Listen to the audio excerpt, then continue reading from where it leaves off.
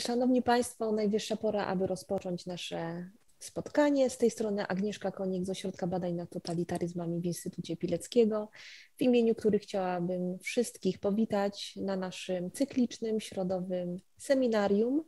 Witam naszych słuchaczy oraz prelegentów. Dzisiaj gościmy profesor Limor Jagil z Sorbony w Paryżu oraz Uniwersytetu Bar Ilan w Izraelu.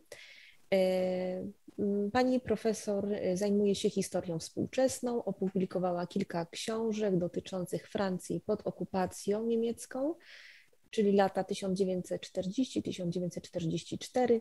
Specjalizuje się zwłaszcza w tematyce dotyczącej ratowania Żydów. Opublikowała trzytomowe dzieło Francja o tytule Francja Kraj schronienia i nieposłuszeństwa obywatelskiego 1936-1944 z podtytułem Ratowanie Żydów, jak również y, inne y, jej książki w tłumaczeniu na język polski to Chrześcijanie i Żydzi pod Vichy 1940-1944, czy zajmowała się tematyką ruchu oporu we Francji. Y, jak również wydała książkę dotyczącą y, ratowaniu żydowskich artystów we Francji, Szwajcarii i USA.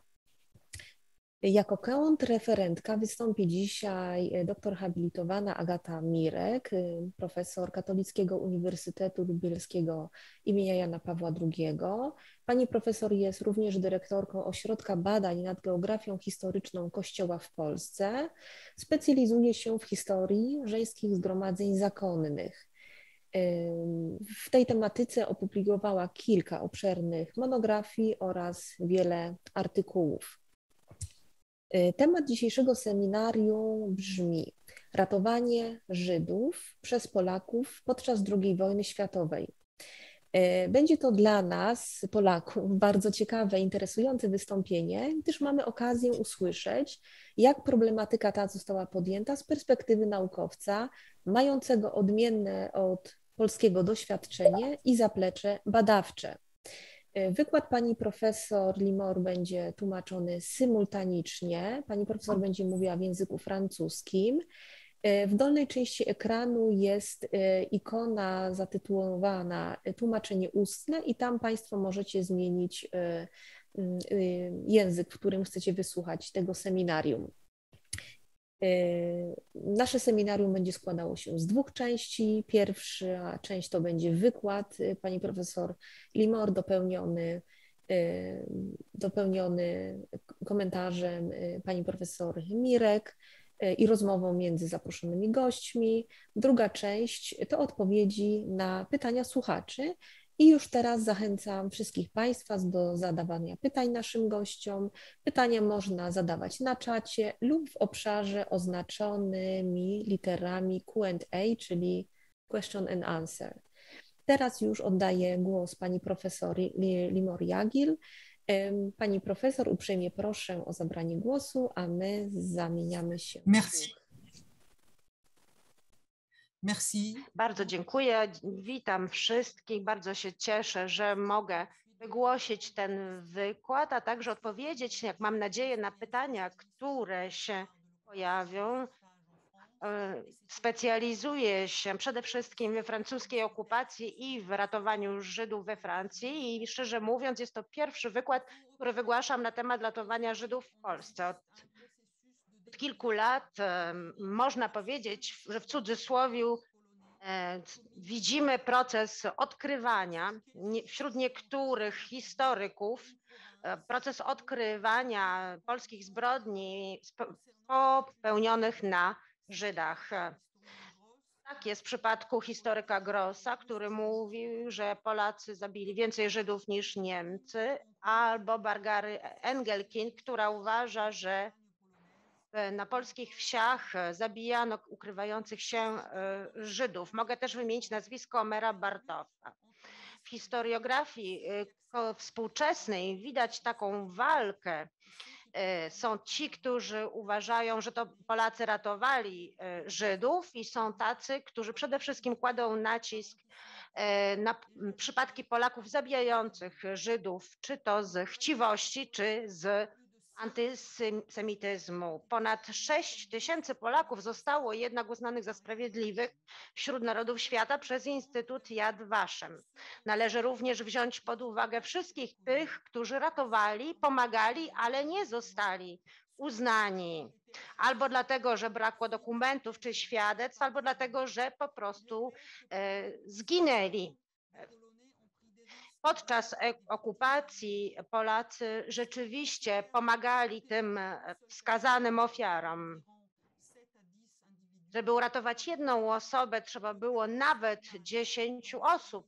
Tak widać przynajmniej z historii pianisty Szpilmana w filmie Polańskiego, e, w którym widać, jaki to jest zakres pomocy. Mimo tego tylko garstka Żydów przeżyła okupację i to z różnych powodów.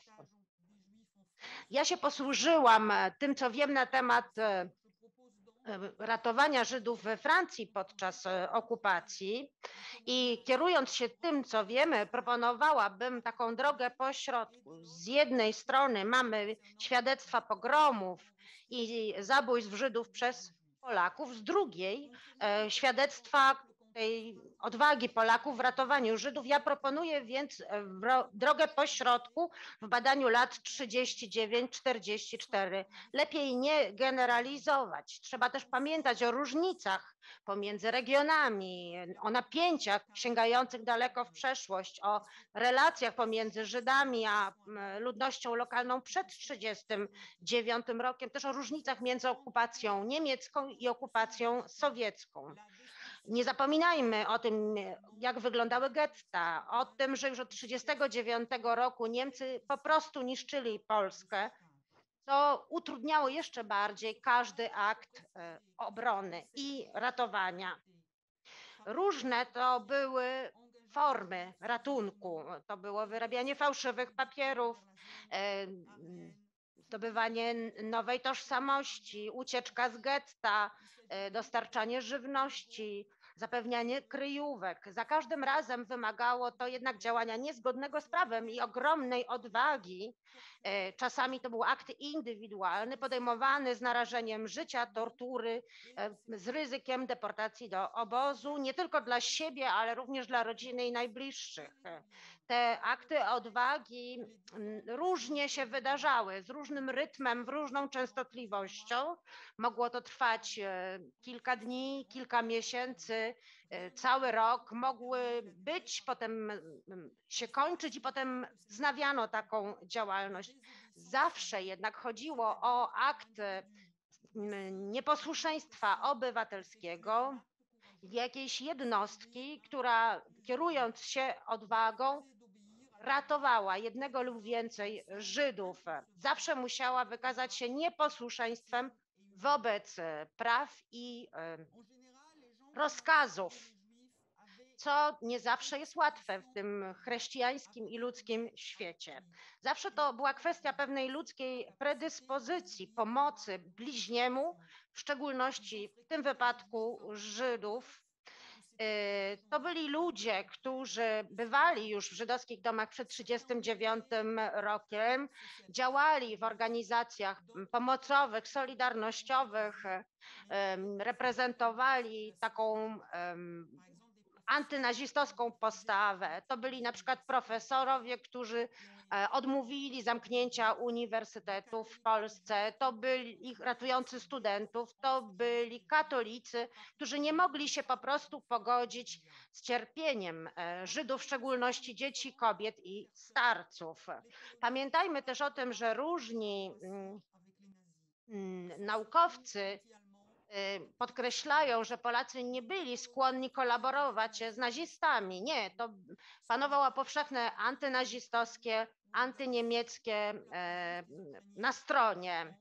Weźmy chociażby Ukrainę, gdzie na przykład w związku z obecnością i przewagą Ukraińców, jednak ten antysemityzm był dużo silniejszy. Pamiętajmy o tym, że Polska była również przedmiotem furii nie, niemieckiej podczas II wojny światowej. Na jej terytorium zginęło 6 milionów ludzi, Żydów i chrześcijan. Dlatego też o tym ratowaniu należy mówić uwzględniając różnice pomiędzy obszarami, wioskami. Nie można generalizować. Czasami to była pomoc żywnościowa podczas klęski głodów, czasami to była pomoc ludziom przebywającym w getcie, czasami to była kryjówka na kilka dni, kilka nocy, y, a czasami pełna opieka w sytuacji, w której wiadomo było, że Niemcy y, natychmiast rozstrzeliwują ludzi pomagającym Żydom na wschodzie polskim, tuż po inwazji niemieckiej, po której nastąpiła inwazja oddziałów sowieckich, e, ludność cywilna starała na początku uciekać. 300 tysięcy ludzi zostało natychmiast uwięzionych przez Niemców, 230 tysięcy przez Sowietów, a 83 tysiące uciekło do, na Węgry czy do Rumunii. E, milion 214 tysięcy Żydów e, zmieszkiwało na terytorium zajmowanym przez Rosję sowiecką. Na zachodzie natomiast 48,4% polskiego terytorium liczyło 22,1 miliona ludności, czyli 62% całej ludności Polski część e, Toruń, Poznań, Łódź, Katowice oraz miasto Gdańsk zostały włączone do III Rzeszy jako kraj warty. Natomiast z drugiej strony powstaje generalne gubernatorstwo, e, pod, na czele którego staje Hans Frank, gdzie pojawia się dziesiątki obozów pracy, obozów przejściowych i 18 obozów koncentracyjnych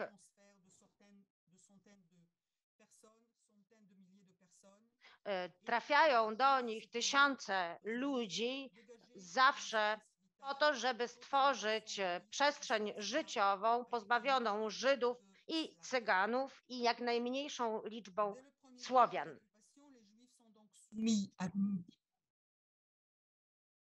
Od pierwszych dni okupacji Żydzi są poddawani wieloma zakazom, są poddawani spisowi, oznaczani, muszą nosić białą opaskę z gwiazdą Dawida, są izolowani od y, reszty ludności. Od października 1939 roku Niemcy zamykają ich w osobnych dzielnicach, oddzielonych murami, drutem kolczastym. W tych gettach około 400 y, przez dwa lata udało się y, im tam umieścić 90% Żydów polskich, wskaźnik śmiertelności również bardzo wysoki, głód, tyfus, dodatek upokorzenia. E, to wszystko po to, żeby pokazać, że warunki, w których żyli, nie ułatwiały i nie zachęcały do działań ratujących Żydów.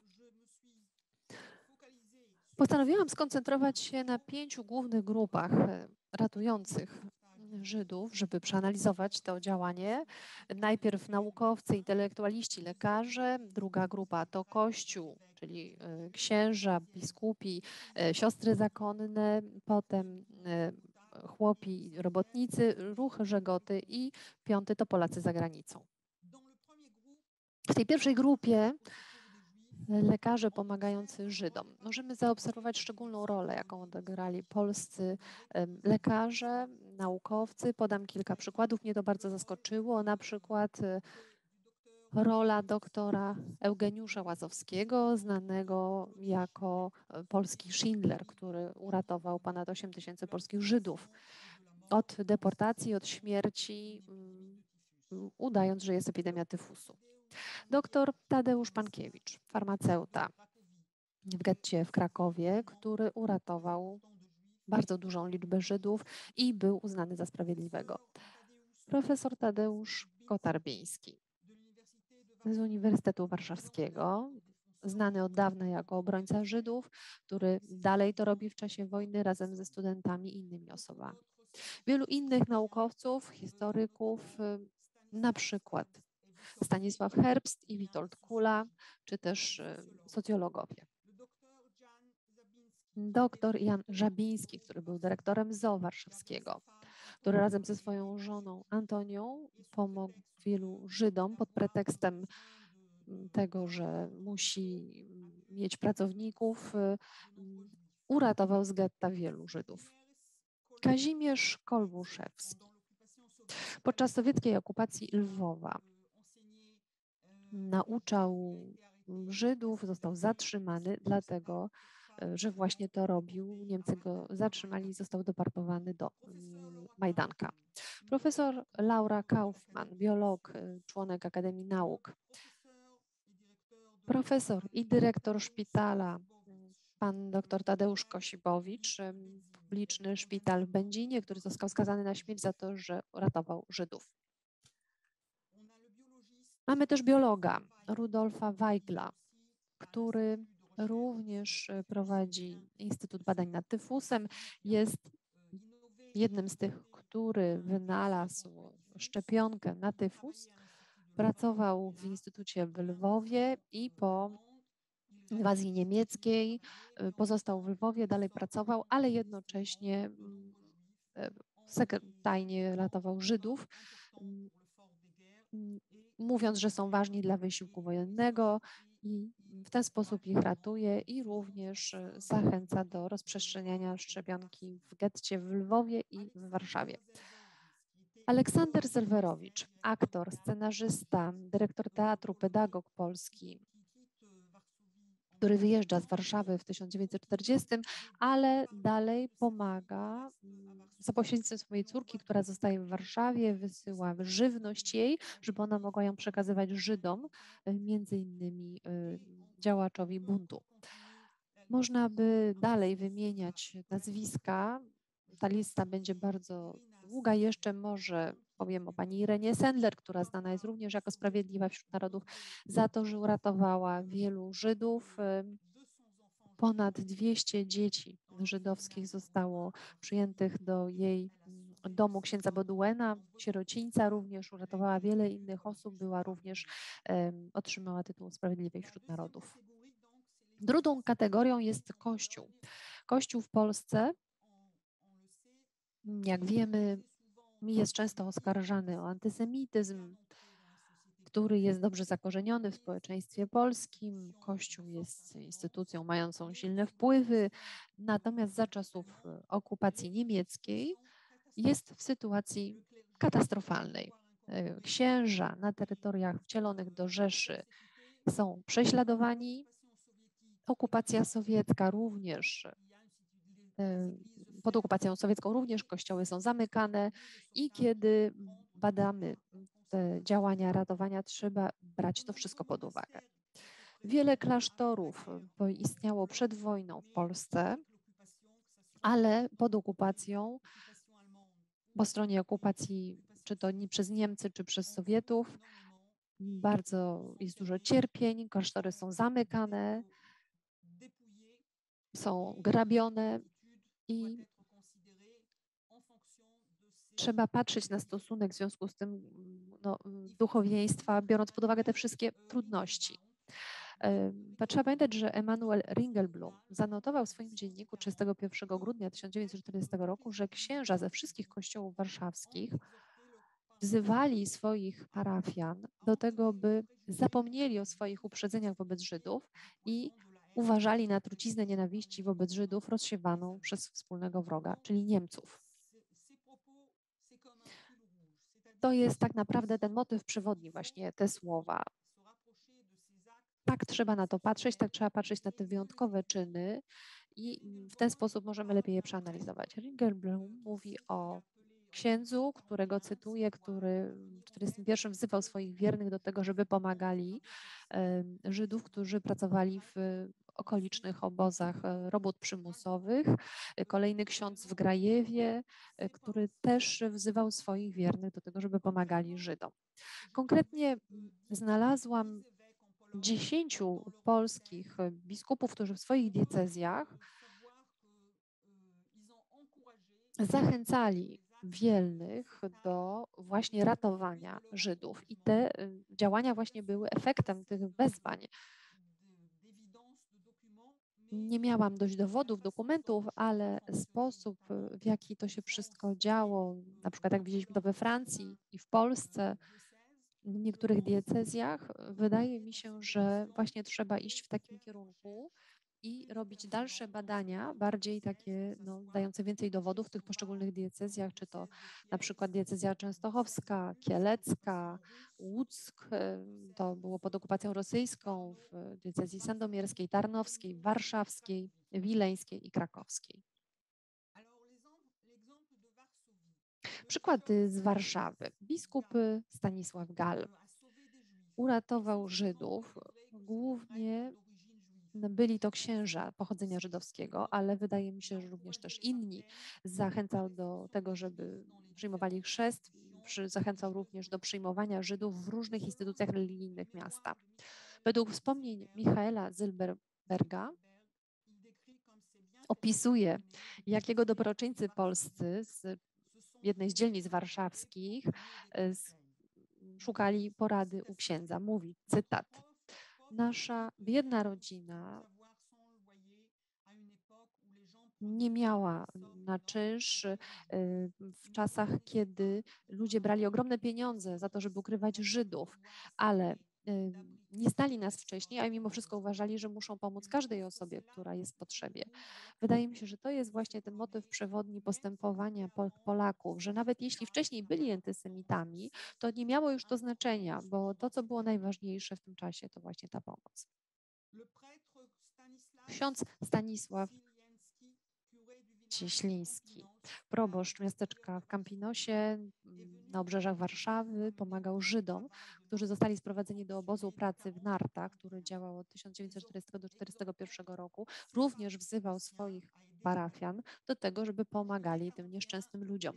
W lipcu 1941 roku Niemcy utworzyli e, obóz e, przejściowy Pomiechówku na północy od Warszawy, w którym Żydzi byli gromadzeni z okolicznych miejscowości, nim potem zostali wysłani do getta warszawskiego. 4000 Żydów mieszkało w sytuacjach ekstremalnie trudnych, bez dostępu do wody pitnej czy też żywności. W raporcie przygotowanym przez żydowskie podziemie w sierpniu 1941 roku świadkowie żydowscy tych wydarzeń zaświadczali o ogólnej pomocy i spontanicznej Polaków, chrześcijan, którzy byli bardzo wzruszeni losem Żydów. Ksiądz Marceli Godlewski, parafia Wszystkich Świętych w Warszawie, był znany przed wojną ze swojego antysemityzmu.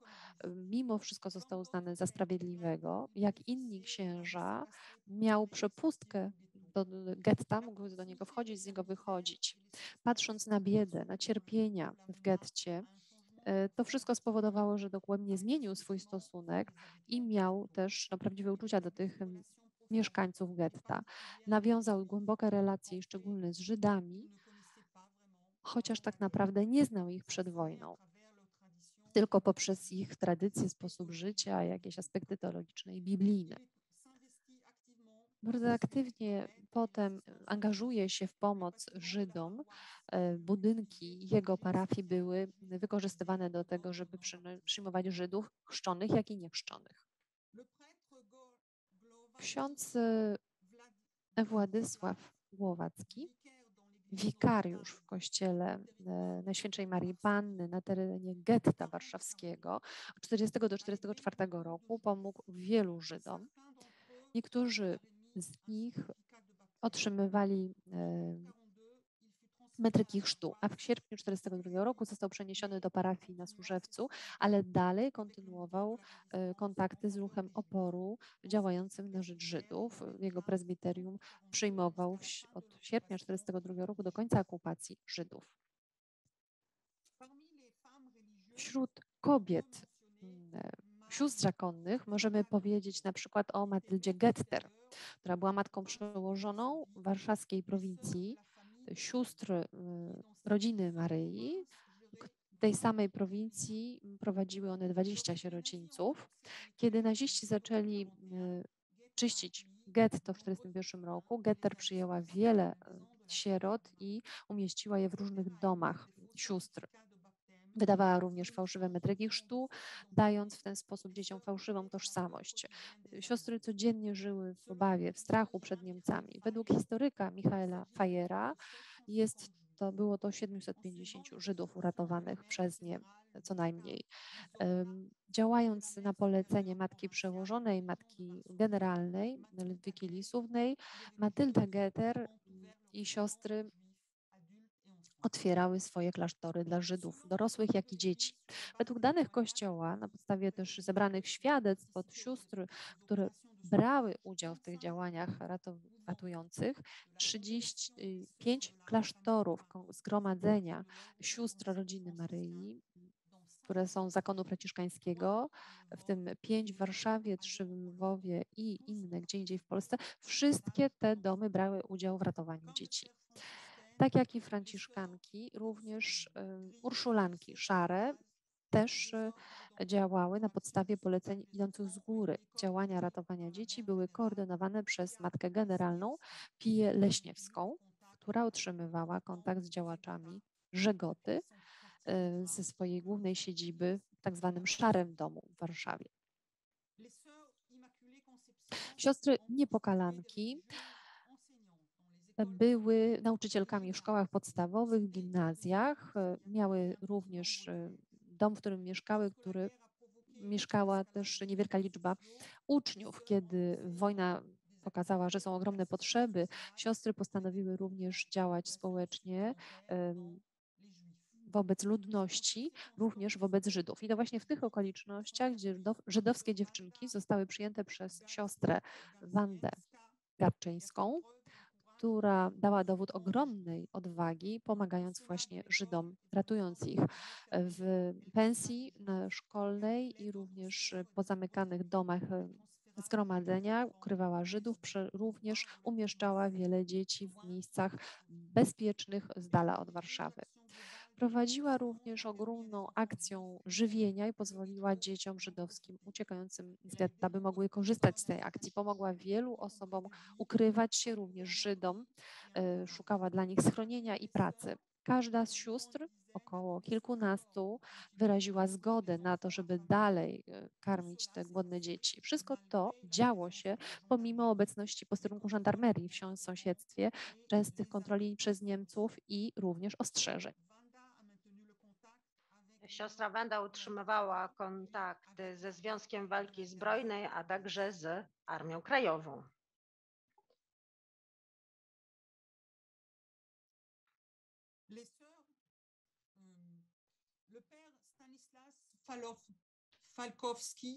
Ojciec Stanisław Falkowski był wikariuszem koło Warszawy w roku 42, kiedy Józef, 14-letni chłopczyk oddzielony do swoich rodziców, znalazł się w pociągu jadącego do Treblinki, wyskakuje z pociągu, ucieka, chroniąc się w poszczególnych wsiach wokół Lublina. Pomagają mu lokalni mieszkańcy, lokalni chłopi. Znajduje schronienie u ojca Stanisława Perkowskiego, Falkowskiego, który uczy go wiary katolickiej, chrzci i nim się zajmuje, a później organizuje mu e, miejsce pobytu w innych parafiach, na przykład u swojego kuzyna Józefa. Następnie e, mówi mu, warto pojechać do Niemiec, tam pracować, skąd chłopiec do niego będzie pisał. Dzisiaj jest to reżyser teatralny w Nowym Jorku, który bardzo serdecznie przyjął tego, który go ocalił w tym mieście. Władysław Korniłowicz to kanonik Instytutu dla Oniemiałych, na którego czele stoją, kierowanego przez e, Franciszkanki, Zgromadzenie Sióstr Franciszkanek, służebnic Krzyża. Jan Kot to dziecko, które zostało przez nich uratowane i który napisał, ojciec Korniłowicz chrzcił wiele żydowskich dzieci, które pochodziły z warszawskiej inteligencji. Nie wiem, ile z tych konwersji wynikało z przyczynek religijnych, a ile z zagrożenia jakie stanowił antysemityzm, ale ten, ten dar apostolski ojca Korniłowicza na pewno odegrał tutaj ważną rolę. Y, Albin Małysiak, późniejszy biskup, został wyświęcony na księdza w 1941 roku i bardzo szybko potem wspólnie z siostrą Bronisławą Wilemską zaangażował się w pomoc na rzecz Żydów, e, chroniąc co najmniej pięć z nich e, i wydając im fałszywe metryki chrztu. Został uznany za sprawiedliwego wśród narodów świata.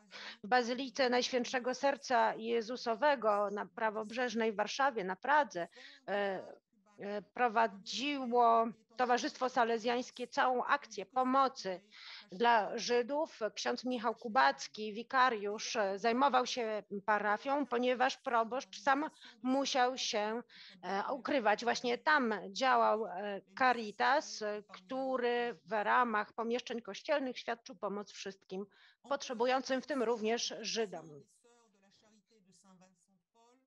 Warto również wspomnieć o Zgromadzeniu Sióstr Miłosierdzia Świętego Wincentego a, Maulo, a Paulo, e, siostry sercanki, wiele różnych zgromadzeń w Krakowie, w Lublinie, w e, Lwowie. Jedna z nich uznana za sprawiedliwą wśród narodów świata należąca do sióstr Urszylanek Unii Rzymskiej, e, pisała na temat e, prowadzenia ochronki również dla żydowskich dzieci.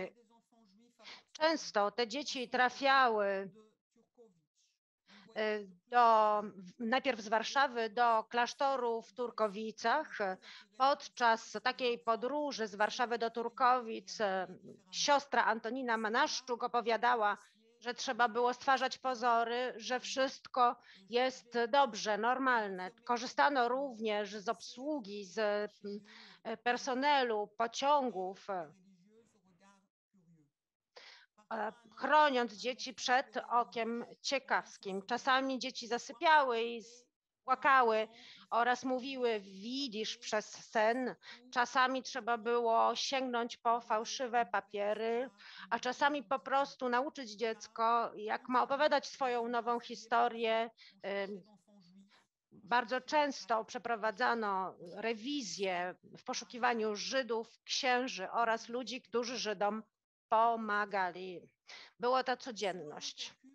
Według wyliczek historyczki pani Kurek-Lesik, która opiera się na późniejszych świadectwach, trzy czwarte wszystkich sierocińców prowadzonych przez klasztory uczestniczyło w ratowaniu dzieci żydowskich.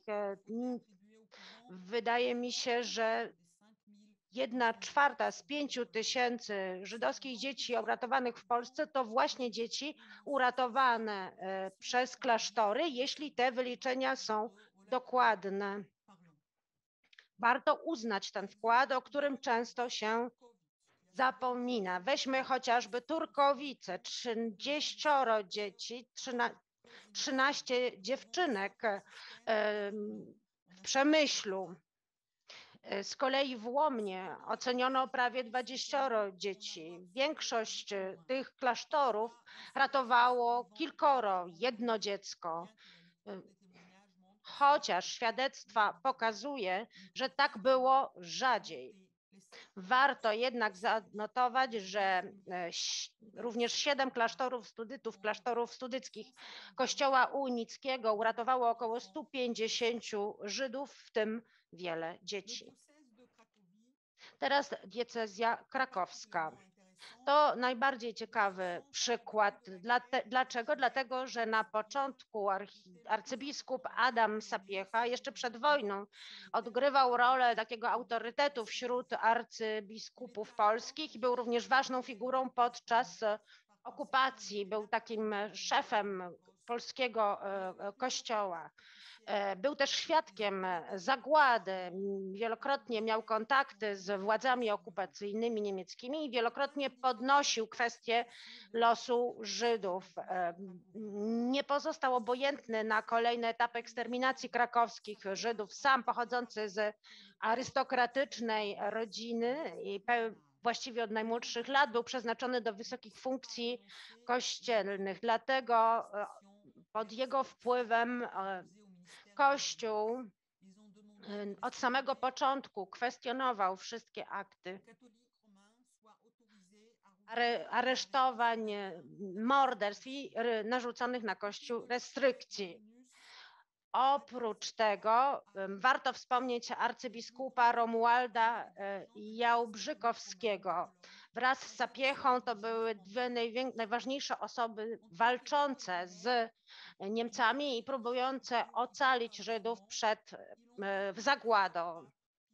E, Sapiecha wielokrotnie pisał do Piusa XII, wysyłając sprawozdania na temat Kościoła oraz Żydów na terytorium Polski jeżeli e, zerkniemy na to, co znajduje się w stolicy apostolskiej, w archiwach, widać, że e, papież miał, był w pełni informowany o e, życiu religijnym w Polsce i wielokrotnie nazywanego męczeństwem Polaków przez różne kanały komunikacji, nie tylko diecezji, metropolii, ale całej Polski, trafiały do papieża te informacje za sprawą Sapiechy. E, Sapiecha informuje o tym, co okupant robi e, wobec Polaków i Kościoła, a także z tych sprawozdań widać, e, co okupanci robią wobec samych Polaków, cywilów jak wygląda sytuacja życiowa, egzystencjalna, rodzinna Żydów i nie tylko.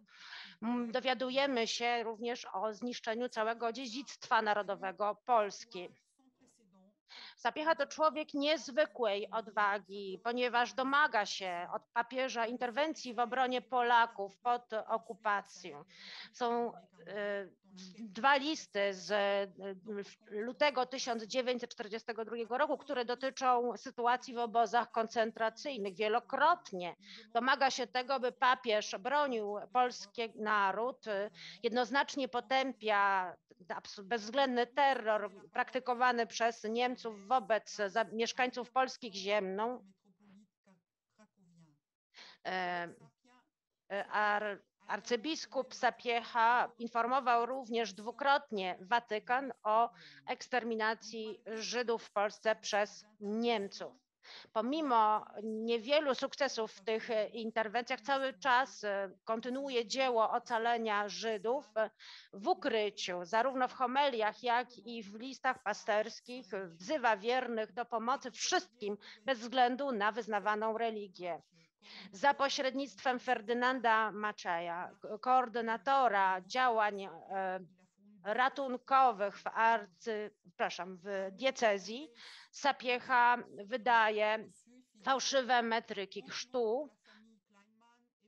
To na przykład jest rodzina Klejmanów, która mieszka w, na prądniku. Sapiecha wydaje również e, księdzom zezwolenie na chrzczenie potajemnie Żydów, a także ofałszowanie metryk e, chrztu. Szczególnie te działania były częste, ponieważ 220 wniosków wpłynęło na, dla 351 Żydów na takie działania. To są dane za lata 39-42.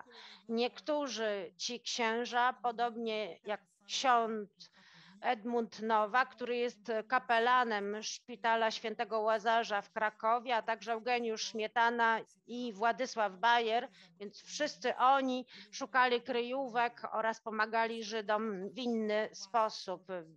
Weźmy parafię świętego Józefa w, w, w w Warszawie znalazła się w większej części po stronie getta. Wczesny proboszcz Józef Niemczyński wspierał Żydów w tej strasznej sytuacji. Poszukiwano również fałszywych papierów, a także kryjówek.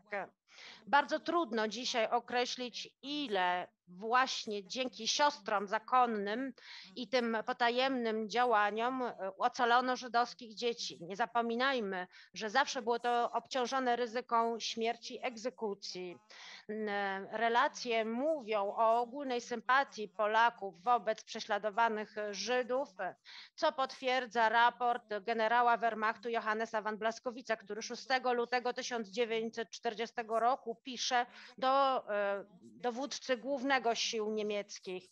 Akty przemocy e, wobec Żydów wzbudzają wśród Polaków, religijnych Polaków, e, świątobliwych i bogobojnych Polaków, nie, wzbudzają nie tylko wielką odrazę, ale także litość wobec całej ludności żydowskiej. To są sentymenty, które wzbudzają niepokoje niemieckie, zważywszy, że te działania ratunkowe zaczynają przyjmować formę zorganizowaną. Teraz e, diecezja częstochowska i kielecka.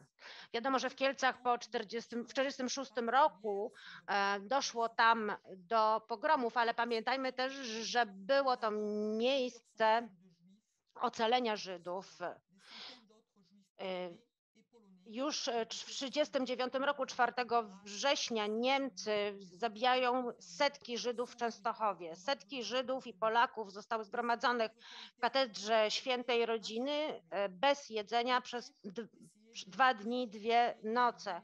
E, pojawiają się apele do władz niemieckich, które niestety spełzają na niczym. W obliczu tego e, Bolesław Wróblewski, proboszcz parafii, postanawia e, ru, ruszyć z pomocą. E, robią tak również księża. E, pojawiają się fałszywe metryki. Oprócz tego siostra Emanuela z Karmelu w Częstochowie ukrywa dziesiątki Żydów. Biskup Teodor Kubina, który był osobistym przyjacielem rabina Nahuma Asza, zachęca księży do pomocy Żydom, poszukiwania kryjówek. Tworzy się potężna sieć instytucji religijnych, e, Albertynki, Magdalenki, Nazaretanki, Urszulanki, e, Sercanki, siostro adoracji wynagrającej Marylki i tak dalej, i tak dalej. Wszystkie te zgromadzenia włączają się w dzieło pomocy Żydom. Dąbrowa Tarnowska. Warto wspomnieć o tej miejscowości niedaleko Tarnowa, gdzie księża również pomagali Żydom, chociażby Franciszek Okoński, pastor z Luszowiców, czy pastor Wojciech Dybiec z Bolesława. I można tak wyliczać. Andrzej Osikowicz, proboszcz parafii w Drohobyczu na południowo-wschodniej części Polski, który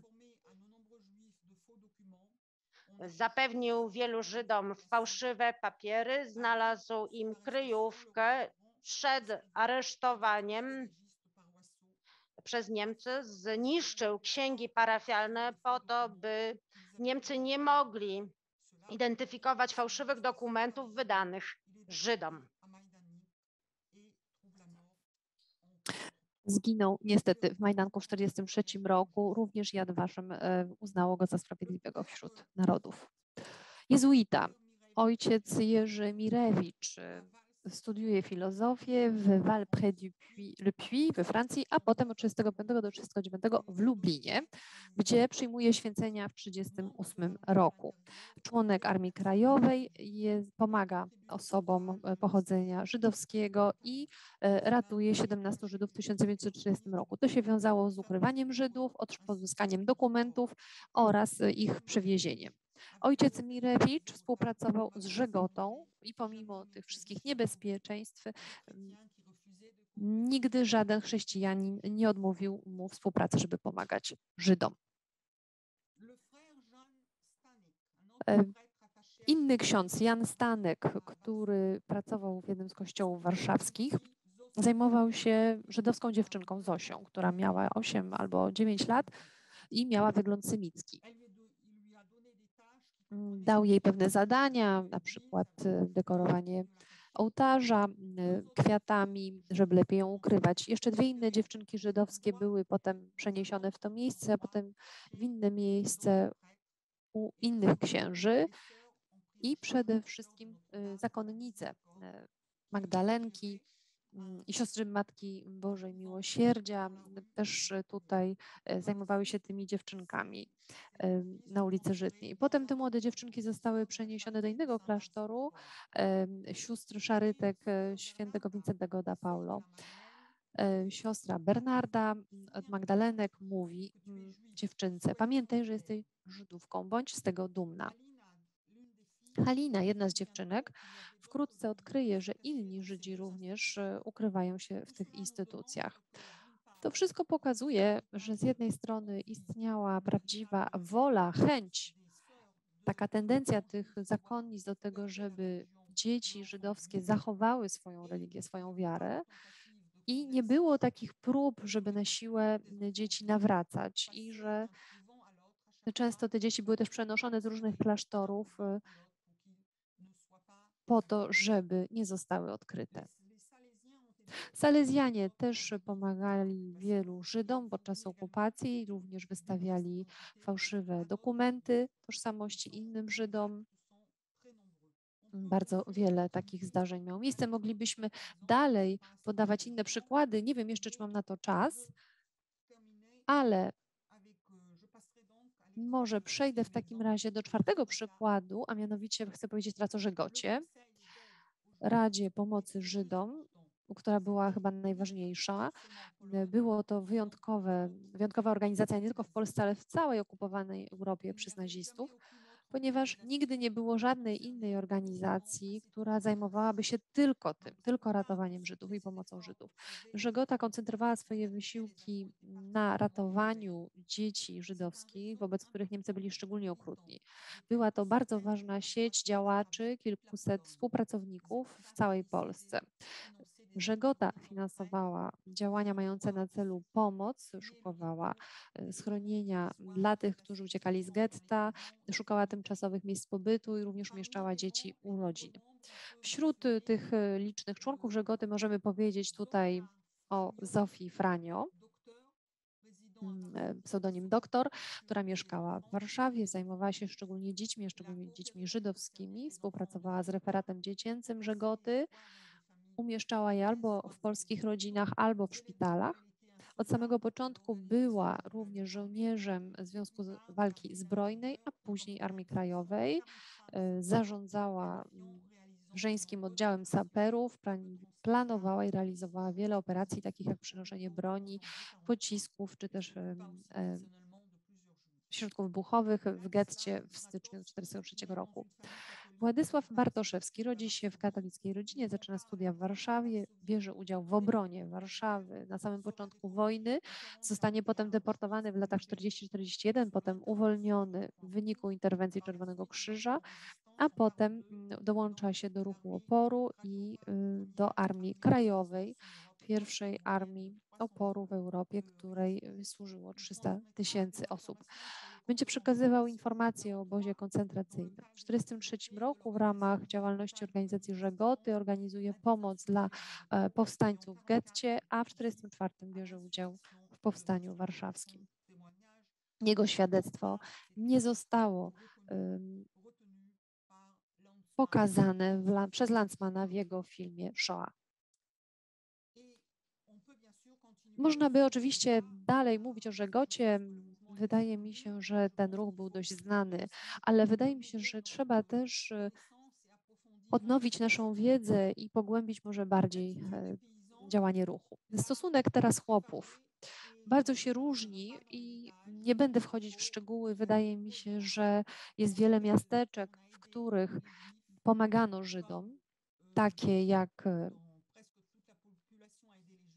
tak jak cała ludność pomagała Żydom, na przykład Barczew, Ostrów Lubelski, okolice Lublina, inne miejscowości. Także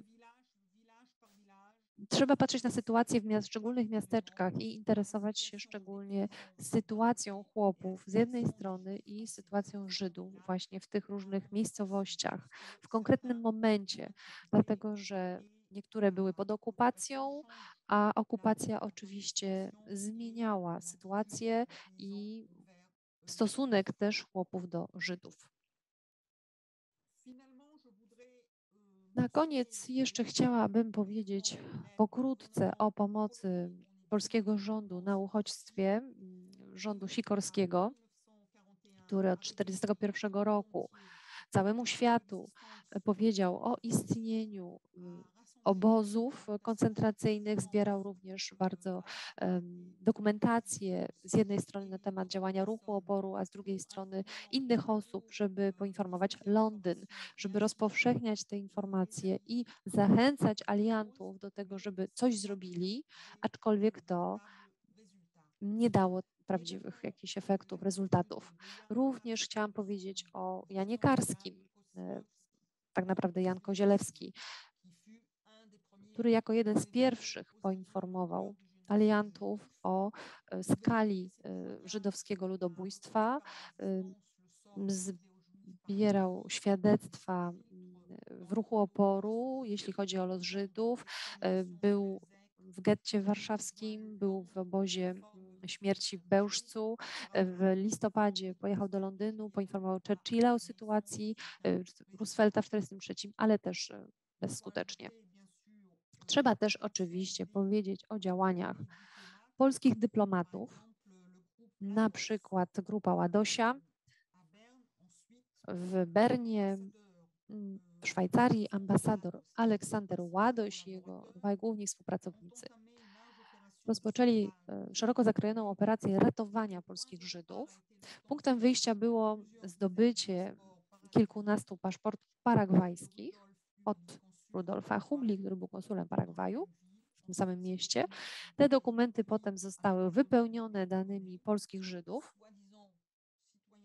którzy mieli być właśnie tymi obywatelami Paragwaju, były postemplowane, dzięki temu niektórzy Żydzi mogli opuścić terytorium polskie pod okupacją sowiecką i uciec e, aż do Japonii już na miejscu dzięki polskiemu poselstwu otrzymywali prawdziwe paszporty i mogli udać się do innych krajów. Ta operacja, można powiedzieć, pomogła uratować ponad 8 tysięcy Żydom dzięki właśnie tym paszportom i dzięki tej inicjatywie Polaków w Bernie. Oczywiście przy współpracy tego konsula Paragwaju. I na koniec trzeba też wziąć pod uwagę zaangażowanie Polaków we Francji. Na przykład y, oni jako jedni z pierwszych dołączyli do ruchu oporu w 1940 roku albo w um, ruchu lotarańskim pomagali przekraczać granice przez Pireneje różnym osobom, w tym Żydom. E, ruch oporu polski, który walczył o niezależność, e, sieć FD. Członkowie ruchu oporu w tej sieci ruchu oporu, tutaj Polacy jako jedni z pierwszych zaangażowali się w ratowanie Żydów i e, Liceum Cypriana Norwida w Villars-sur-de-Lens w departamencie Isère, które było znane z tego, że było miejscem schronienia wielu Polaków, Żydów mm, i również innych uciekinierów, którzy szukali schronienia właśnie w tym miejscu. W podsumowaniu, w konkluzji mogę powiedzieć w ramach tego seminarium, że ograniczyłam się tylko do podania kilku przykładów, ale w rzeczywistości było to o wiele szersze zjawisko. To trochę tak jak outsider, historyczka, która nie czyta po polsku i nie jest specjalistą od historii tego kraju, ale Francji, zaproponowałam kilka uwag, komentarzy, które oczywiście trzeba by poszerzyć i pogłębić. Jasnym jest, że ratowanie Żydów w Polsce pozostaje złożoną sprawą i nie może wpisywać się w ciągłość tej narracji i praktyk antysemickich sprzed 1939 roku.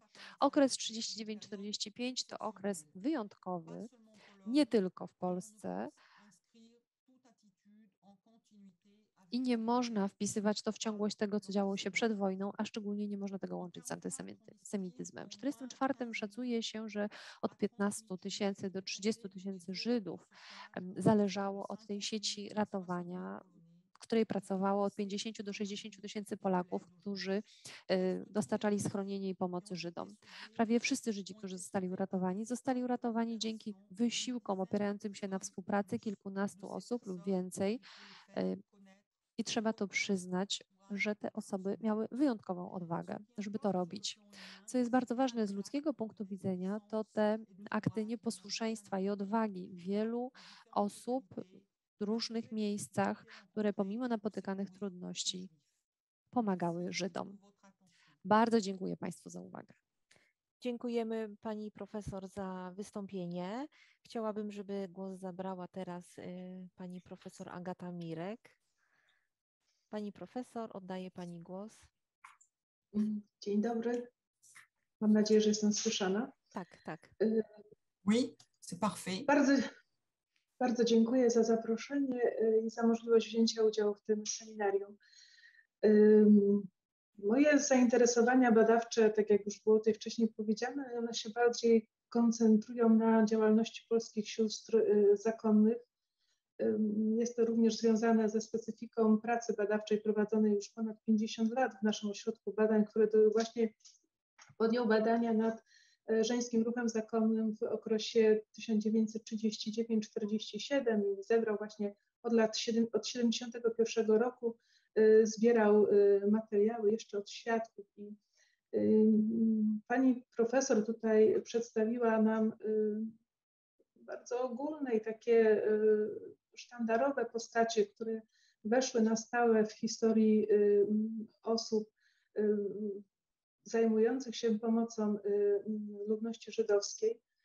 Y, chciałabym tylko zauważyć, że w Polsce, no jako jedynym kraju europejskim, nie powstał rząd, który by współpracował y, z okupantem niemieckim po prostu. I, I, tutaj działania, które były prowadzone przez polski rząd na uchodźstwie, które były koordynowane również ta, ta akcja pomocy ludności żydowskiej, Y, I wielka ta społeczna również y, działalność y, społeczeństwa, które samo było jako kolejne przed, w, tych, w, tej, w ramach polityki okupanta niemieckiego właśnie przeznaczone do eksterminacji, no właśnie społeczeństwo polskie. I, i właśnie w tej sytuacji, kiedy za najmniejszą pomoc y, y, była kara śmierci, to też jedyny kraj y, okupowany, który, który miał takie tak bardzo drastycznie po prostu warunki, których można było udzielać tej pomocy, wiązały się z tak drastycznymi po prostu karami. I y, ja tu swoją wypowiedź y, chciałabym właśnie skupić na tym, na czym się znam najlepiej i w bardzo ogólnych, ogólnie przywołać po prostu sytuacje, liczby, które dotyczą właśnie ratowania Żydów przez Polaków w czasie II wojny światowej, ale na przykładzie właśnie polskich zgromadzeń zakonnych tej społecznej historii dramatycznych lat 1939-45 y, historia polskiego ruchu zakonnego zajmuje miejsce ważne, ale właśnie patrząc na te wypowiedzi, y, również dzisiaj wydaje mi się, że mało doceniane w tej globalnej historii tego okresu. Y, gdy jednak zaczniemy się zajmować ludźmi, ich postawami czy zachowaniem, to wtedy z całą ostrością stanie przed nami innymi problem rzeczywistego znaczenia wartości w życiu i postępowania ludzi, w tym także wartości patriotycznych, religijnych, problem trwania czy upadania, załamywania się, a także kluczowy w tamtych, jest kluczowy dla tamtych czasów i dla zrozumienia tego. Trzeba powiedzieć, że warunki życia i działalności polskich zakonnic nie odbiegały od sytuacji, w jakiej września 1939 roku znalazło się polskie społeczeństwo i polski kościół. E, oczywiście w najtrudniejszej sytuacji znalazły się siostry, które pracowały na ziemiach wcielonych do Rzeszy, gdzie Niemcy zmusili je do zdjęcia stroju zakonnego, wysiedlili do, do generalnej guberni I, i właśnie pozamykali w obozach pracy, bo, bo również tak było, domy zakonne zostały przejęte przez administrację i organizacje niemieckie. Stosunkowo taką najbardziej swobodną działalność, oczywiście ograniczoną prawami okupanta, ale mogły prowadzić siostry generalnej guberni. I właśnie w tych trudnych wojennych warunkach, y, y, tam gdzie siostry znalazły się, gdzie osiedliły się y, w małych grupkach, i to była właśnie reguła, że natychmiast podejmowały pracę zgodną z pilnymi potrzebami miejscowego społeczeństwa.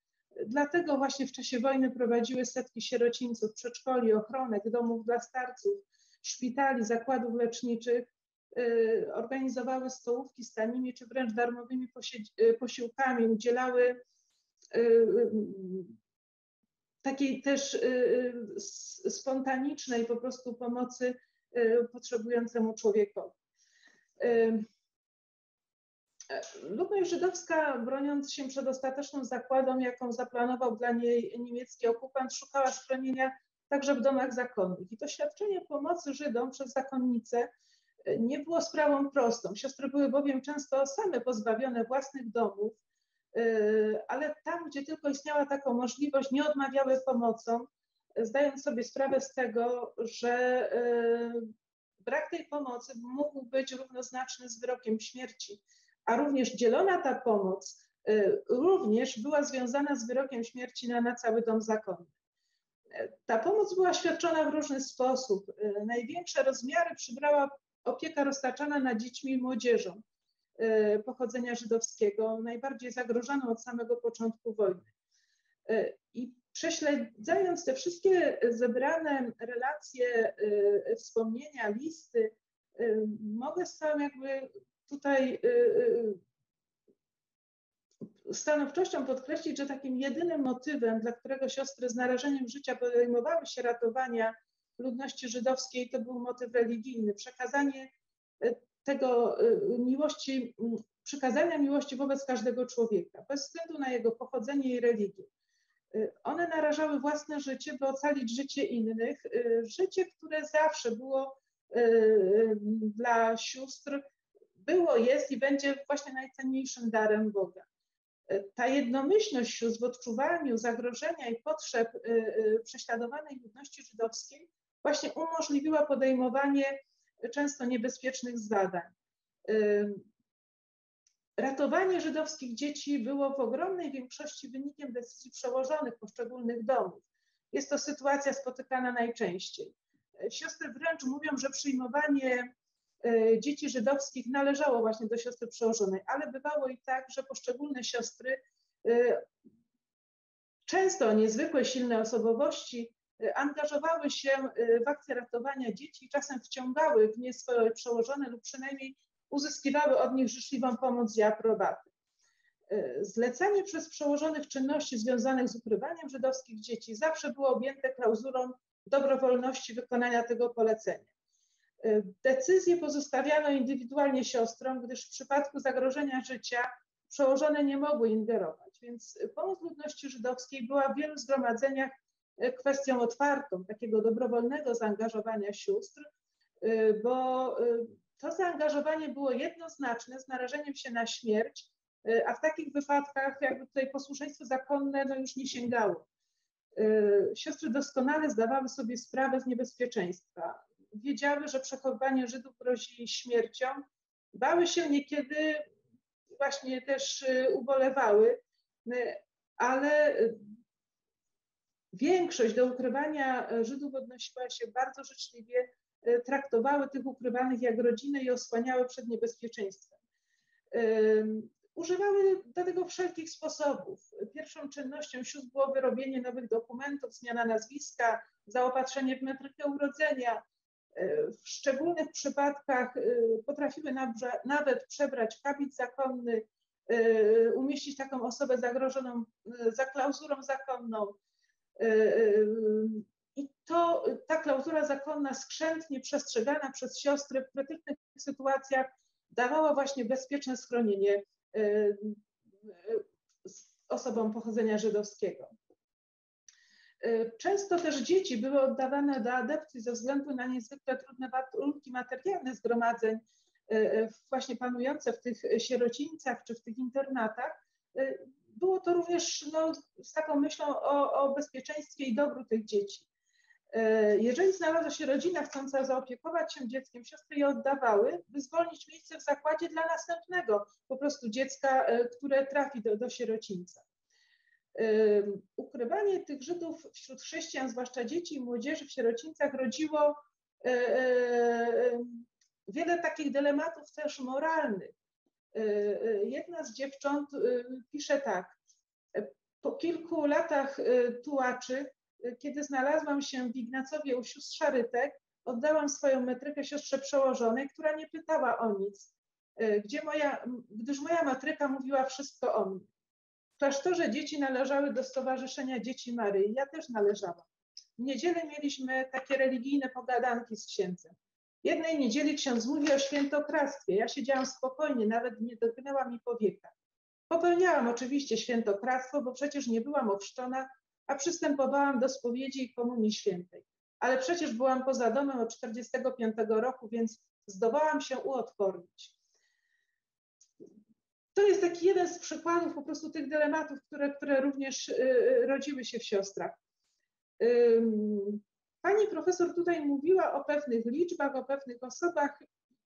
Prowadząc y, badania, te, te dane, z którymi pani profesor zaczerpnęła, Dzisiaj już te nasze badania są bogatsze i, dla mnie taki, taki wniosek też po wysłuchaniu tego, tego wykładu pani profesor, jak bardzo potrzebujemy tłumaczenia naszych polskich opracowań i, i udostępniania ich po prostu czy w sieci, czy po prostu w jakiś upowszechnienia tych naszych badań, ponieważ ja już dzisiaj mogę powiedzieć, że najwięcej, bo 56 wspólnot Zgromadzenia Sióstr Franciszkanek Rodziny Maryi niosło pomoc ludności żydowskiej. E, e, wiemy, że 25 wspólnot służebniczek starowiejskich pomagało, 24 wspólnoty albertynek, 18 wspólnot szarytek, 12 wspólnot felicjanek, 11 wspólnot urszulanek Unii Rzymskiej i służek, 10 wspólnot sióstr Matki Bożej Miłosierdzia, Józefitek, urszulanek Serca Jezusa Konającego, osiem wspólnot sióstr niepokalanych bezhabitowych, serafitek, dominikan, y, zmartwychwstanek, pięć wspólnot benedyktynek, służebniczek pleszewskich, obliczanek, serafitek, dominikanek, po cztery wspólnoty y, Zgromadzenia Sióstr Duszy Chrystusowej, opatrznościanek, sług Jezusa, Michaelitek, trzy wspólnoty benedyktynek, samarytanek, betanek, franciszkanek, służebniczek krzyża, klarysek, pasjonistek, pasterzanek, prezentek, sióstr aniołów, po dwie wspólnoty Bernardynek, córek Bożej Miłości, karmelitanek bosych, misjonarek świętej rodziny, pallotynek, pasterek, sióstr Maryi Niepokalanej, sióstr de Notre Dame y, i po jednej wspólnocie sióstr Antoninek, Boromeuszek, Dominikanek, misjonarek, Elżbietanek Cieszyńskich, Elżbietanek, karmelitanek od Dzieciątka Jezus, Loretanek, Norbertanek, Oblatek, y, sióstr Sakreker, sióstr Wspólnej Pracy, Służebniczek Dębickich, Terezjanek i Wizytek. To tak globalnie przedstawiona po prostu statystyka wspólnot, y, gdzie y, dzieci, gdzie ludność y, żydowska znalazła pomoc. Jeżeli chodzi o miejscowości, w których najwięcej było świadczone tej pomocy, to z moich badań wynika, że było to 37 placówek w Warszawie, 21 w Lwowie, po 13 w Wilnie i w Krakowie, 9 placówek w Częstochowie, 6 w Lublinie, w Kielcach, w Przemyślu, 5 placówek w Tarnowie, 4 w Radomiu, w Zakopanem, 3 w Otpocku, E, I, I, kolejne miejscowości to jedna, dwie wspólnoty pomagające Żydom. E, udało się ustalić 259 osób konkretnych z imienia i nazwiska sióstr, które niosły bezpośrednio pomoc Żydom. E, one żyły w 363 wspólnotach. 63 zgromadzenia podjęło, czy włączyło się w tą akcję, ale za każdą z tych osób kryje się odrębna historia osobom, y, y, pomocy osobom skazanym na zakłady, tylko właśnie dlatego, że były pochodzenia żydowskiego. Ten czas II wojny światowej, który dla wszystkich stał się takim tragicznym czasem naznaczonym terrorem, bezwzględnym okrucieństwem, zażądał od zakonnic zdania egzaminu z człowieczeństwa i z chrześcijaństwa. Jest faktem, że, że były też takie siostry, które poddały się presji wypływającej, presji właśnie nazistów wypływającej z negatywnej Y, negatywnie na ich postawę etyczną i powodowane lękiem czy strachem odmówiły udzielenia takiej pomocy, ale to naprawdę są bardzo nieliczne przypadki. Y, tym większa jest zasługa tych osób i tych wspólnot i całych zgromadzeń, które żyjąc w ciągłym niebezpieczeństwie, no nie uległy lękowi.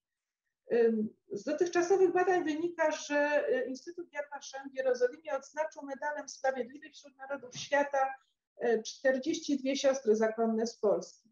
E, wśród tych, które zapłaciły największą cenę za pomoc zagrożonym Żydom, czyli cenę własnego życia, jest 12, 12 zakonnic. Jest to 7 szarytek, dwie niepokalanki, uszulanka, dominikanka. E, cztery z tych zakonnic, które oddały swoje życie e, właśnie pomagając czy ukrywając ludności żydowskiej, są nasze nawet wyniesione do chwały ołtarzy jako męczennice. Siostrą, jest to siostra E, Bogumiła e, Ewa Noiszewska, siostra Kazimira Wołowska, rozstrzelane w, e, w Słonimiu siostra Helena Klemensa Staszewska zamęczona w Auschwitz i siostra Stanisława rodziniska zarażona tyfusem, która zmarła w obozie w Sztuthofie. Ratując te żydowskie dzieci, polskie zakonnice nie miały wątpliwości, że życie dzieci jest równie cenne jak ich własne życie ratowały tak, jak potrafiły, tak jak pozwalały im na to warunki w Polsce właśnie pod y, niemiecką okupacją. Odtworzenie y, tych rozmiarów pomocy niesionej Żydom na ziemiach polskich y, przez żeńskie zgromadzenia zakony jest rzeczą trudną, gdyż wiele sióstr udzielało pomocy indywidualnie to w taki sposób, by nie wiedziało o tym nawet najbliższe otoczenie. To maksymalne zachowanie tajemnicy było sprawą niezwykle ważną wobec właśnie bezwzględności reakcji niemieckiej na każdy donos. Siostry realizując w tych nieludzkich czasach tą ideę chrześcijańskiej miłości, niosły pomoc osobom znajdującym się w śmiertelnym niebezpieczeństwie. Nasze dzisiejsze patrzenie na ten dramatyczny okres historii, jakim była II wojna światowa i ocalenie postaw żyjących i ocenianie postaw żyjących wówczas ludzi, no jest skażone takim dużym patrzeniem na tę sytuację z perspektywy czasu. W moim osobistym przekonaniu, czytając wiele, wiele tych relacji, każdy, kto niósł pomoc, nawet najdrobniejszą, okazał się człowiekiem i, podejmując, podejmując tą, tą pomoc, czy decydując się na podjęcie tej pomocy, trzeba było pokonać strach przed własną śmiercią i być gotowym na najwyższą ofiarę, czyli na ofiarę swojego życia. E, a taką decyzję można podjąć tylko w imię no, najwyższych ideałów, w jakimi się żyje. No, tym ideałem dla, dla sióstr właśnie e, była osoba Jezusa Chrystusa, było dla którego po prostu ofiarowały swoje życie, chcąc naśladować Jego, również one w ten sposób realizowały swój ideał powołania. To tyle tak adwocem tego, co, co tutaj pani profesor przedstawiła i taka generalna właśnie moja uwaga, bardzo dziękując pani profesor za ten dzisiejszy wykład, on uświadamił jak wiele przed nami jeszcze do zrobienia, bo te badania nasze w języku polskim, czy nawet dotyczące sióstr, są bardzo zaangażowane, niestety nieudostępniane po prostu w taki sposób, żeby również mogły dotrzeć e, właśnie do Pani profesor. Dziękuję bardzo. Dziękujemy Pani Profesor za, za Pani wypowiedź i rzeczywiście to jest bardzo trafna konkluzja Pani Profesor Mirek, że te nasze publikacje powinny być udostępniane dla badaczy również za granicą i tłumaczone na języki obce. Mamy kilka pytań do naszych prelegentów. Y, pierwsze skieruję do pani profesor y, Limor Jagil, mianowicie czytam. Pani profesor, jaka jest geneza Pani badań nad zagadnieniem pomocy udzielanej Żydom przez Polaków w czasie II wojny światowej? Jest to zagadnienie, które wydaje się być ogólnie marginalizowane w badaniach naukowych poza Polską. Dziękuję. Pani profesor, czy odniesie się Pani? Oui, bien volontiers. Tak, bardzo chętnie. Powiedziałabym, że ja zaczęłam te badania dlatego, że interesuję się kwestią ratowania Żydów we Francji i również zajmowałam się bardzo ważną rolą księży, sióstr zakonnych i katolików, biskupów we Francji, którzy ratowali Żydów. Pomyślałam sobie, no cóż, Polska to też kraj katolicki, nawet bardzo katolicki, bardzo przywiązany do tej religii. Byłam w Watykanie i no, wiecie, co działo się w Polsce, prawda? Te wszystkie opowiadania, które Watykan też dostał. I czytając, czy też śledząc tą dyskusję, która odbywa się przede wszystkim w Izraelu z Polską, z historykami, którzy są teraz bardzo modni, mówią, Polacy tylko zabijali, tylko wykorzystywali i tak dalej. Mnie to zachęciło do tego, żeby zainteresować się głębiej tą sprawą i historią Polski, którą znałam bardzo tak pobieżnie. Rzeczywiście miałam wiele trudności w znalezieniu tych przykładów, dlatego że w takiej mm, książkach mówiącej obecnie o historii nie ma tych przykładów, mówi się tylko o tych, którzy zabijali, masakrowali, wykorzystywali. I ja tego nie akceptuję. Wydaje mi się, że to jest przesada absolutnie nieznośna przesada historyków. Tak samo jak jest na pewno we Francji, kiedy zaczęto badać czasy okupacji, to mówiono na początku, że 40 milionów było petenistów, potem 40 milionów członków ruchu oporu, potem 40 milionów ko kolaboratorów, a no cały czas staramy się pokazać tych, którzy kolaborowali, a nie pokazujemy tego ratowania. I dla mnie, co jest najważniejsze w tej historii zagłady, oczywiście były obozy, nie można tego zapominać, nie można zapominać o eksterminacji, ale trzeba też pokazać odwagę poszczególnych ludzi, którzy mieli taką możliwość i Dlatego podkreślałam te szczególnie trudne warunki, niebezpieczne warunki, jakie istniały w Polsce. Było zupełnie inaczej we Francji i w innych krajach. Podziwiam tym bardziej odwagę tych Polaków, biorąc pod uwagę warunki życia w tamtych czasach, biorąc pod uwagę, że było to w tej strefie okupowanej przez Niemców, przez Sowietów. Okropne jest to, co im się przydarzało, głód, destrukcja i biorąc pod uwagę to wszystko, tym bardziej podziwiam te mm, działania na rzecz ratowania Żydów. Wydaje mi się, że to jest minimalizowane marginalizowane. Czytając te dokumenty, przygotowując się do wykładu, zauważyłam, że jest bardzo dużo rzeczy, ale to, co mm, nie jest y, po polsku, jest bardzo ograniczone. Także mm, historycy, którzy mają te różne swoje hipotezy, które są wykorzystywane na wszelki sposób, mówiące, że Polacy głównie zabijali Żydzi, oni są większościowi, bo oni publikują po angielsku, po francusku i takim jest łatwiej. Łatwiej jest też ludności to zaakceptować. Więc wydaje mi się, że trzeba tu podjąć prawdziwy wysiłek, żeby pogłębić i podkreślić te wszystkie działania na rzecz ratowania, żeby pokazać, że Polacy to nie tylko ci, którzy chcieli zabijać swoich e, sąsiadów, Żydów, e, tych, którzy byli też obywatelami polskimi. Trudno mi było wierzyć, że wszyscy chcieli po prostu mordować Żydów. Naprawdę trudno mi jest coś takiego zaakceptować, taką teorię. Muszę powiedzieć też, że kilka lat temu byłam w Warszawie, było takie seminarium, miałam, też tam miałam wykład i mówiąc o ratowaniu Żydów we Francji. I trudno mi było śledzić dyskusję między Polakami, jak oni sami widzieli te czasy i jak się kłócili między sobą, i zrozumiałam, że jest jeszcze wiele pracy do zrobienia, że trzeba się uwolnić od tych mm, dyskusji tymi, między tymi nowymi historykami, tą nową, nową szkołą tak zwaną historyczną. Moim zdaniem to wcale nie jest nowa szkoła historyczna, to są historycy, którzy chcą wykorzystać chwilę, żeby popchnąć swoje prace do przodu i nie są po prostu, nie mają dobrego jakby no, tutaj fokusu. Nie można dochodzić do ogólnych wniosków na podstawie sytuacji w jakiejś jednej miejscowości, w jednym regionie. I nawet w tym regionie są też pewne wyjątki. Trzeba bardziej podkreślić te wyjątki. Trzeba zobaczyć całość sytuacji i patrzeć, jak to wszystko ewoluowało. bo co miało miejsce też w 41 było już inną sytuacją w 43 czy 44, więc trzeba lokalnie badać sytuację, brać pod uwagę również relacje. Czy to Ukraińcy zabijali Żydów, y, to nie można oskarżać Polaków o to. Trzeba bardzo ostrożnie do tego podchodzić, a obowiązkiem historyka nie jest ocena, tylko zrozumienie, starać się lepiej zrozumieć. I to też pozwala mi mieć tą odwagę, żeby dalej prowadzić moje działania, badania historyczne. Dziękuję Pani Profesor za odpowiedź na to pytanie i podzielenie się z nami także Pani opinią na ten temat.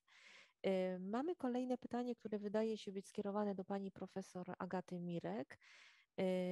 Pani profesor, jaka jest geneza Pani badań? Y, przepraszam, Pani profesor, bardzo dziękuję za ciekawy wykład. Według Pani badań, dokumentów, jaki procent zakonów, zgromadzeń pomagał w ukrywaniu Żydów? Jak duża była siatka osób cywilnych pomagającym zakonom w ukryciu? Pani profesor, czy, czy możemy tutaj mówić o jakichś liczbach, czy o jakichś um, ocenach? Czy Pani, mogę prosić Panią o skomentowanie?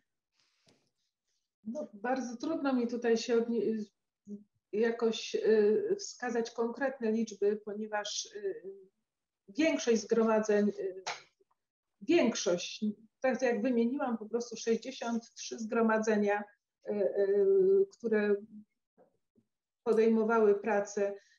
To zależało też po prostu od specyfiki działalności zgromadzenia. Te, które prowadziły, zajmowały się po prostu pomocą charytatywną, prowadziły właśnie ochronki, sierocińce, szkoły. Było właśnie łatwiej wtedy pośród tej działalności udzielać tej pomocy i, i to wykorzystywano. Y, I tutaj powiedziałabym, że zdecydowana większość zgromadzeń po prostu podejmowała tą działalność. Natomiast jeżeli chodzi, jak duża y, y, liczba osób świeckich, cywilnych w tym uczestniczyła, nie sposób tutaj określić, ponieważ nawet przewiezienie jednego dziecka, tak, y, z jednego sierocińca do drugiego, bo tutaj było zagrożone, czyli już w tym sierocińcu było za dużo dzieci i trzeba było po prostu to, to dziecko przewieźć, y, y, wymagało pomocy kolejarzy, osób, właśnie kogoś, kto furmanką przewiózł to dziecko. To była po prostu cała gama osób, które po drodze, nawet bezimiennych, trudno tutaj wskazać po prostu jakąś liczbę jest to myślę, że, że niemożliwe po prostu, żeby określić konkretną po prostu liczbę. Często były, mówię, to osoby, które, e, e, siostry, to co mogę powiedzieć, że, że e, siostry żyły pośród tych ludzi, oni widzieli po prostu, jak, oni, jak one żyją, wyrzucone ze swoich domów, właśnie kątem czasem u kogoś, jeszcze tam ukrywając i pomagając komuś, więc społeczeństwo, które widziało to, to życie sióstr takie na oczach wszystkich, niosło tę pomoc ta, y, y, ten mandat taki y, moralny, społeczny, który, który zakonnice właśnie poprzez to swoje życie bardzo zaangażowane w pomoc innym, wzbudzały po prostu sympatię polskiego społeczeństwa, które im pomagało również w niesieniu takiej pomocy. Dziękuję y, za odpowiedź na to pytanie. Wiadomo było, że odpowiedź będzie trudna. Pani profesor, mamy jeszcze jedno pytanie. Czy zdarzały się przypadki wykrycia ukrywanych dzieci żydowskich w klasztorach i jaką cenę siostry zakonne zapłaciły za udzielenie tej pomocy? Czy zna siostra takie przypadki? Tu też pytanie do pani profesor Agaty Mirek.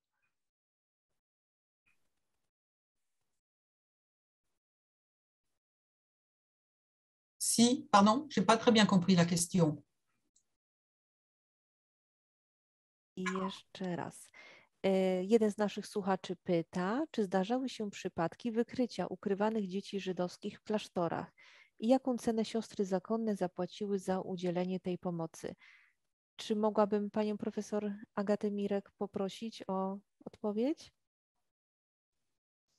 Przepraszam, miałam wyłączony mikrofon, mówiłam coś, ale nie było słychać. E, tak jak powiedziałam, że wśród tych, które zapłaciły największą cenę za pomoc niesienia Żydom, 12 sióstr e, poniosło śmierć e, i zostało nawet beatyfikowanych, czyli po prostu uznanych, ta ich śmierć męczeńska została uznana. Także takie sytuacje oczywiście zdarzały się. No, siostry używały różnych sposobów, żeby po prostu to ukrywać obecność tych dzieci, ale to nie były pojedyncze, pojedyncze przy, przypadki, pojedyncze osoby, tylko y, y, to było czasem kilkanaście żydowskich dzieci w jednym z sierocińców i, i to już było trudno ukryć, więc y, jak najbardziej zdarzały się i, i mówię tutaj udokumentowane, o których wiemy właśnie siostry, które, które poświęciły swoje życie dlatego, że, że, że ratowały. E, dziękuję. I w takim razie ja mm, po wysłuchaniu wykładu pani profesor.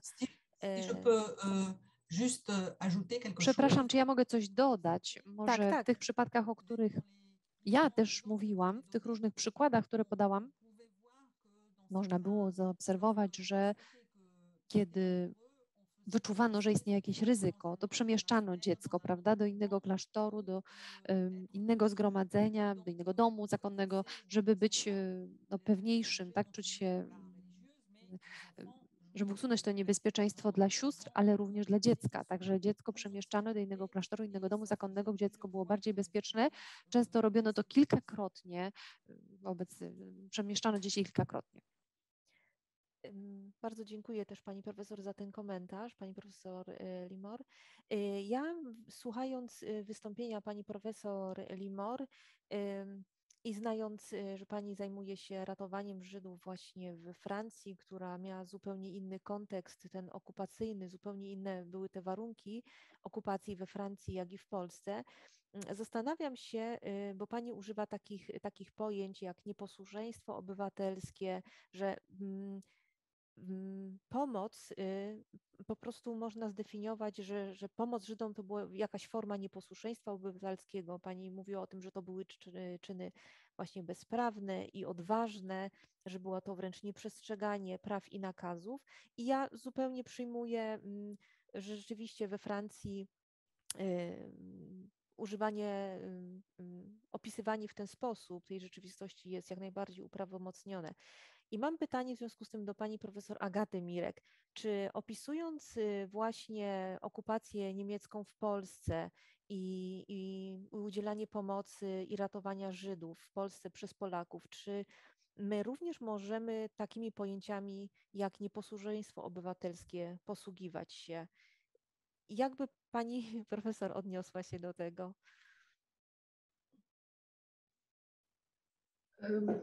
W Polsce nie było państwa, które, y, rządu, który by po prostu nawiązał, y, kolaborował y, z, z okupantem. To jedyny przykład państwa, który, gdzie nie było po prostu tego rządu, czy stworzonego w ogóle przez władze niemieckie.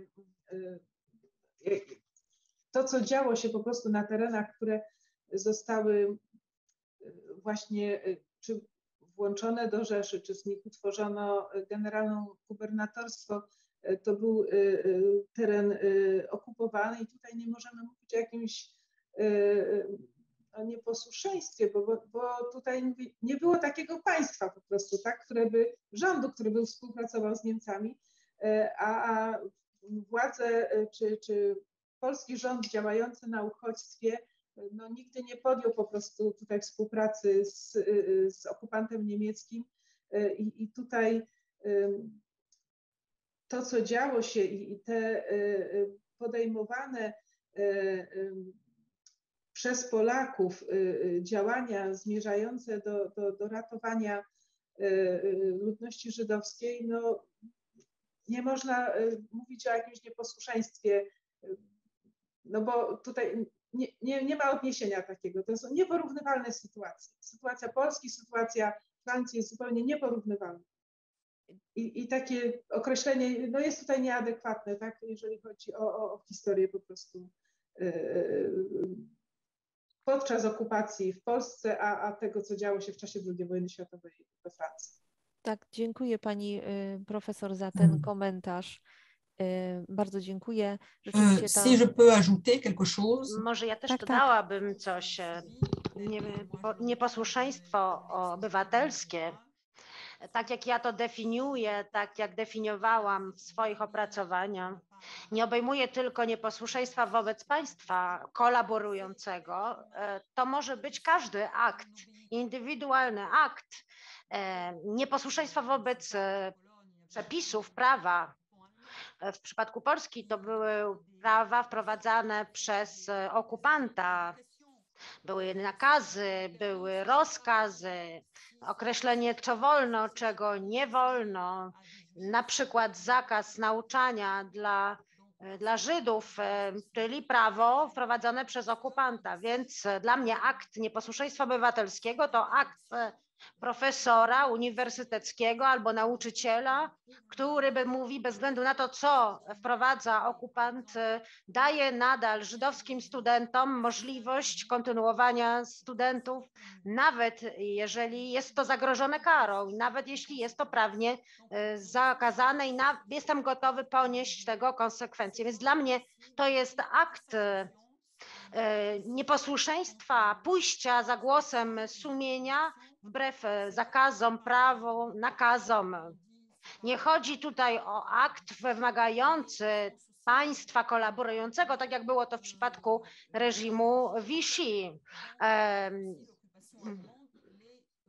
w przypadku okupacji niemieckiej, no we Francji też był okupant niemiecki, który wydawał e, przepisy, który wydawał rozkazy, więc e, te akty nieposłuszeństwa obywatelskiego e, można rozumieć na różne sposoby to nie chodzi o to, żeby wprowadzać e, jakieś rozróżnienie na członka ruchu oporu i kolaboranta.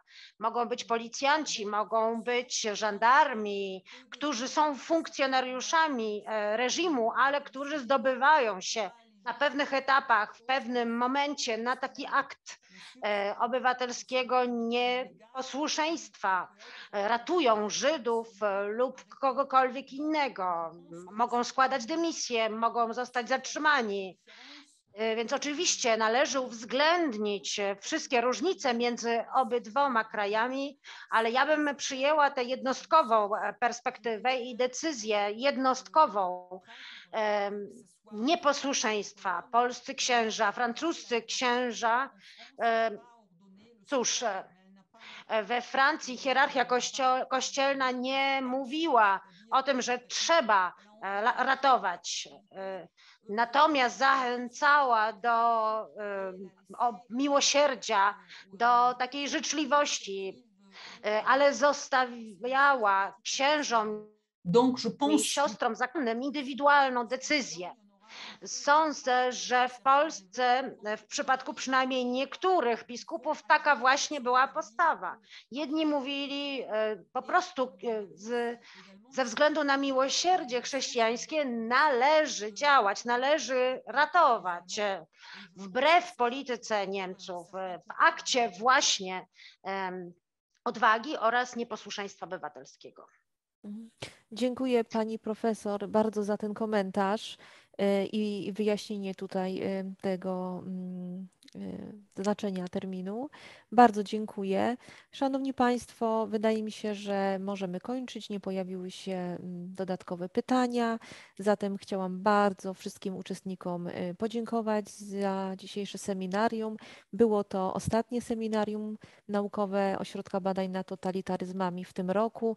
Na kolejne zapraszam dopiero w przyszłym roku, dokładnie 12 stycznia o godzinie 12. Naszym referentem będzie ksiądz profesor Jan Wilkusz z Katolickiego y, Uniwersytetu Lubelskiego imienia Jana Pawła II. Przedstawi temat represje wobec duchowieństwa katolickiego podczas II wojny światowej. Jego koreferentem będzie profesor Witold Stankowski y, w imieniu Zespołu Ośrodka Badań nad Totalitaryzmami i Instytutu Pileckiego pozwolę sobie złożyć wszystkim Serdeczne życzenia wesołych świąt Bożego Narodzenia oraz wszelkiej pomyślności w nadchodzącym nowym roku. Bardzo, bardzo dziękuję jeszcze raz. Dziękujemy. Dziękujemy. Merci à vous également. Ja również i życzę szczęśliwego nowego roku. Dziękuję. Dziękuję. Dziękuję. To do widzenia. Do zobaczenia. Do widzenia. Au revoir.